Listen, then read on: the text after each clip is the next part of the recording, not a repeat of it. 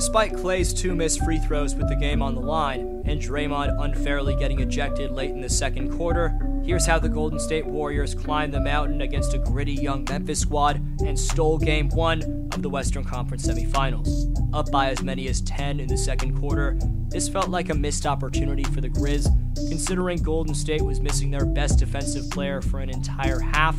Jordan Poole's new playoff career high in scoring, the Dubs' uber small ball lineup with Klay Thompson at power forward and Andrew Wiggins at center, and Stephen Curry's calm, cool, and collectedness are all factors we're going to break down. So stay tuned for all that and more, which you can't miss, surrounding the NBA's current favorite to win it all from the Bay Area. Right before that, just 10.4% of you watching right now are subscribed, so if you haven't already, please subscribe and turn on notifications. Also, leave a thumbs up, it takes a few seconds and makes a massive difference in YouTube's algorithm. You can follow me on Instagram and Twitter at DFlowHoops, and I'll follow you back. Link is down below in the description for those two platforms. Like any sport, styles make fights in basketball, and with a whole different team to game plan for, Dubs head coach Steve Kerr decided to promote Gary Payton II into the starting five alongside Draymond, Andrew, Klay, and Steph as Jordan Poole moved back to the role he got accustomed to during the regular season as the team's sixth man. Despite moving back to the bench, Deadpool was still out for vengeance against the man who robbed him of the Most Improved Player of the Year award. While Ja Morant had a higher points per game improvement from last season than Poole, Jordan went from playing with the Warriors G League team last year to averaging nearly 20 points per game and gaining the reputation as one of the best sixth men across the association. After multiple horrible games to close out round one against the Denver Nuggets, Jordan dominantly bounced back to open round two by posting 31 points, 9 assists, 8 rebounds, and 2 blocks on 74.2% true shooting in game one against Memphis.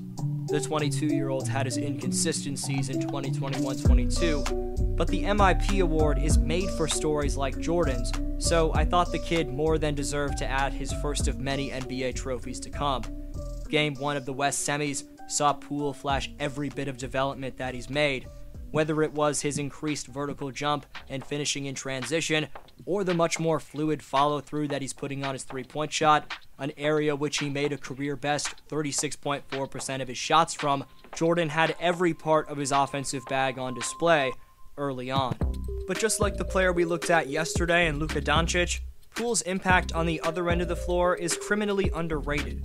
Right here, Jordan glues himself like the Minnesota fan to his matchup, helping Draymond blitz and turn over Desmond Bane, which leads directly into a stone cold pull up jumper from Deadpool on the other end.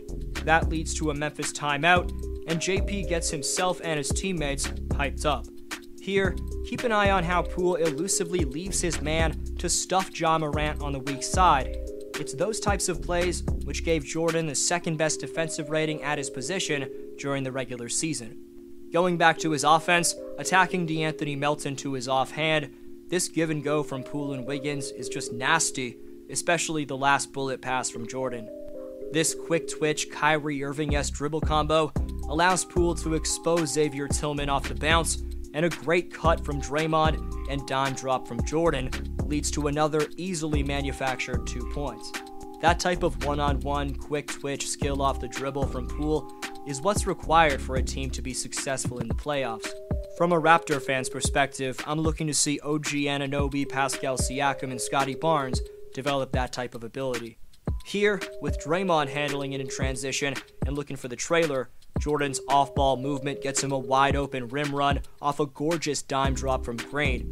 Following Draymond's ejection, his replacement, Kevon Looney, would come in for quarter number three and instantly form a pick and roll connection with Poole, as that action generated two buckets within the first two minutes of the second half. After an off ball slip screen and relocation to the left corner from Curry, here, Poole catches the pass from GP2, speeds past John Morant, stops on a dime, pivots twice to freeze two Memphis defenders, which gives Jordan a wide open scoop shot. Aside from the three dimes he dropped in the fourth quarter, which gave Golden State several massive buckets. This should have been four point play from 30 plus feet, gives you a taste of Poole's natural and straight deadly shooting range as he gets sandwiched by two Memphis players while getting hit on the arm. This man's a three level scorer, but he needs to stay consistent if Golden State's going to win another chip. because Jordan's become that crucial to this championship winning organization's chances at living up to expectations. Draymond getting ejected was definitely the wrong decision from the refs. This should have been a flagrant one.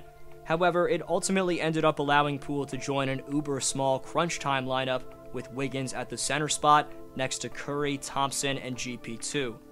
Taking advantage of their quickness, that unit thrived off elite passing reads from Poole and Curry over the final minutes of the game. While Stephen Curry was a minus 9, the man was playing with 5 fouls for most of the night, and he did drain two crucial three pointers, one being a four point play in quarter number 3 to help spark the Dubs' comeback.